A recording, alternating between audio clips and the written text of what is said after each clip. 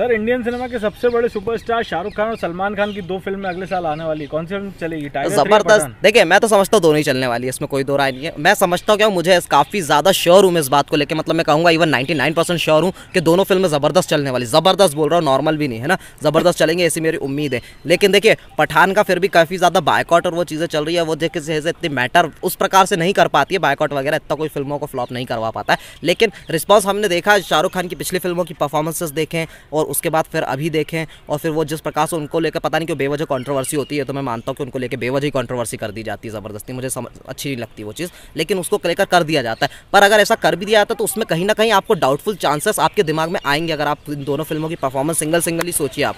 आप इंडिविजुअली सोचेंगे तो आपको लगेगा कि हाँ यार, पठान हो सकता है, शायद ऐसा हो जाए, या कम चले, या फ्लॉप भी हो सकती है। लेकिन टाइगर को लेकर आपके दिमाग में कभी ये चीज़ आएगी नहीं, आएगी क्योंकि टाइगर तो सफ़ा अलग ही होने वाली है, और टाइगर का नाम क्या ही होगा, फिर मुझे बोलने की ज़रूरत नहीं है। हालाँकि फ़िल्म को रिलीज़ होने में काफ़ी लंबा वक्त है, काफ़ी ज़्यादा टाइम है दिवाली पर अगले साल आएगी तो बहुत लंबा वक्त है। ऐसा मैं समझता हूँ टाइगर थ्री तो फिर अलग ही नाम और बवाल होने वाला और टाइगर को कौन सा कभी, आप बताइए टाइगर तो सीरीज़ है ना तो पहली वाली को कभी बाइकआउट हुआ था क्या? दूसरी वाली आई थी, उसका बाइकआउट हुआ था क्या? तीसरी आई, उसका हुआ था क्या? सलमान खान की पिछली कुछ फ़िल्मों का ऐसे कोई बाइकआउट वाइकआउट हो रहा है क्या? नहीं होता। वो एक नॉर्मल फैमिली फ़िल्म बनाते हैं और बढ़िया चलती है। ओवरऑल मेरी ये उम्मीद है, मुझे ऐसा लगता है कि पठान भी बहुत ज़बरदस्त होने वाली पठान जल्दी रिलीज़ को तैयार है। हम सब भी मतलब एक तरह से हमारी वेल विशेज़ भी हैं कि जल्दी चले, फ़िल्म अच्छी चले और बढ़िया रिस्पॉन्स देखने को मिलेगा। इंडियन सिनेमा में जिस प्रकार का शाहरुख और सलमान का एक समय पर दोनों का साथ में। क्या सलमान का तो हमेशा से चल ही रहा है, वक्त हम अभी भी देख ही रहे हैं गजब का। लेकिन शाहरुख का बीच में थोड़ा सा वक्त डाउन हो गया ऐसे में अगर मैं समझता हूँ कि जिस प्रकार से ये दोनों ने रूल किया है ना बॉक्स ऑफ़िस के ऊपर, वैसा ही रूल इस साल 2023 से वापस दोनों करते हुए देखे तो ज़्यादा अच्छी बात होगी। लेकिन मैं समझता हूँ मज़ा आ जाने वाला पठान जल्दी चलो, फिर टाइगर तो आएगी तो वो बवाल मचाना ही मचाना सलमान खान के साथ, दिवाली पर ब्लॉकबस्टर होगी फिर।